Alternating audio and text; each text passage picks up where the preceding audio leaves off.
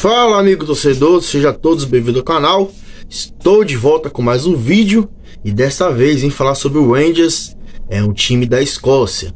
É, o time estava falido e hoje está disputando a final de um torneio da Europa. Antes de continuar o vídeo, deixa seu like, compartilhe o vídeo, se inscreva no canal se não for inscrito, ative as notificações, não esquece de deixar seu comentário que é muito importante. Aqui no canal tem vídeo de manhã, de tarde e de noite, por isso que é muito bom você se inscrever e ativar as notificações. Então, dito isso, bora pro vídeo.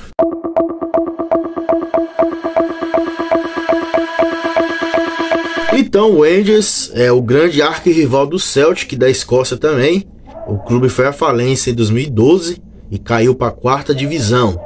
É, o clube hoje conseguiu se reerguer, é, foi subindo de divisão e hoje está na primeira divisão da Escócia e está disputando a final da Liga Europa contra o Eintracht Franco da Alemanha.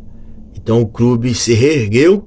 O técnico do Rangers é, em 2021, que o Rangers foi campeão invicto do Campeonato Escocês, era o Steva é, Gerrard, o grande ídolo do Chelsea, que jogou por muitos anos na seleção inglesa.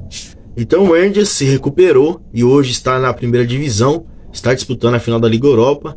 O time ressurgiu, então nunca pode deixar de acreditar tem que acreditar sempre nos gigantes que um dia consegue voltar ao seu lugar de respeito, o seu lugar que tem que ficar.